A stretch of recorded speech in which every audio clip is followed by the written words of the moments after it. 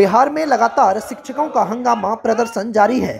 इसी बीच आज TET, STET उत्तीर्ण नियोजित शिक्षक संघ गोप गुट के बैनर तले सूबे के विभिन्न जिलों से आए सैकड़ों शिक्षकों ने बिहार शिक्षा परियोजना परिषद कार्यालय के समक्ष धरना प्रदर्शन किया। गौरतलब है कि सूबे के सभी जिलों में स्थानीय निकायों में प्रतिनियुक्त शिक्षकों को ससमय वेतन भुगतान का अभाव तथा एरियल भुगतान में वर्षों से विलंब सहित अन्य समस्याओं का सामना करना पड़ रहा है। नियमित वेतन भुगतान को लेकर बिहार शिक्षा परियोजना और शिक्षा विभाग के आला अधिकारियों का रवैया सदैव उपेक्षापूर्ण रहा है। शिक्षकों को रोजमर्रे के जीवन में भारी कठिनाइयों का सामना करना पड़ रहा है। लिहाजा शिक्षकों में भारी आक्रोश व्याप्त है। बिहार शिक्षा परियोजना परिषद कार्यालय के समक्ष प्रदर्शन को संबोधित करते हुए संगठन के प्रदेश अध्यक्ष मार्कंडेय पाठक ने कहा कि शिक्षकों को वर्षों से लंबित एरियर भुगतान नहीं किया गया है। ऐसे में वो लोग सरकार से खपा हैं। सरकार रोज नए सिगुफे छोड़ने में जुटी हुई है। दो तीन साल पहले जो है बिहार के सरकार के निर्देश पर नौ प्रशिक्षित शिक्षक जो है प्रशिक्षित हुए, जिनकी संख्या जो है पचास हज़ार से साठ हज़ार के बीच है।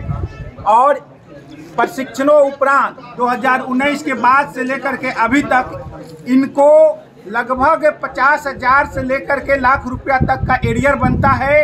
और इन तीन साल के अवधि तक लगातार जिला से लेकर के और सचिवालय तक हम लोग गुहार लगा रहे हैं, लेकिन हमारा अंतर वेतन का भुगतान नहीं हो रहा है। जिसके खिलाफ में और साथ ही साथ जो समय वेतन भुगतान होना चाहिए, बांका सहित कई ज़िले का नवंबर महीने से वेतन बकाया है और सारे जिलों में ही दिसंबर से ही वेतन नहीं मिला है।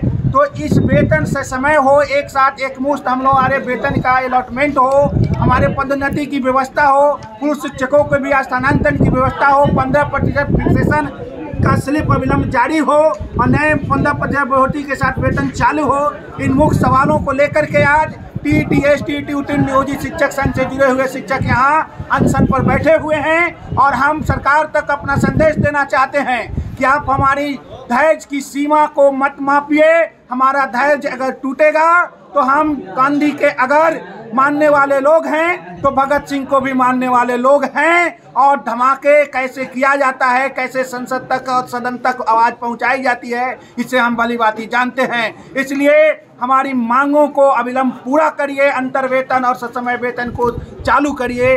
मार्कंडे पाठक, प्रदेश अध्यक्ष स्टेट स्टेट नियोजित शिक्षक संघ बिहार। शिक्षा विभाग पदोन्नति और प्रोन्नति के मामले में विभागीय नियमावली को तोड़ मरोड़ रही है। पंद्रह फ़ीसदी बढ़ोतरी मसले पर फिक्सेशन कार्य धीमी गति से चल रहा है। अब शिक्षक चुप नहीं बैठने वाले हैं। अविलंब अलॉटमेंट नहीं होने की स्थिति में बिहार का शिक्षक समाज अब चरणबद्ध आंदोलन की दिशा में बढ़ेगा। उधर प्रदर्शनकारी शिक्षकों के बीच अपनी बात रखते हुए बिहार शिक्षा परियोजना परिषद के पदाधिकारी नीरज कुमार ने कहा कि एरियर भुगतान को लेकर प्राथमिक शिक्षा निर्देशालय को पत्र लिखा गया है। फिर से इस मसले पर बिहार शिक्षा परियोजना प्राथमिक शिक्षा को रिमाइंडर कराया जाएगा। शिक्षकों का कहना है कि वो पदाधिकारियों के टाल मटोल के रवैये अब नहीं सहन होने वाले हैं। अलॉटमेंट नहीं होने की स्थिति में शिक्षक राज्यव्यापी आंदोलन करने को मजबूर होंगे।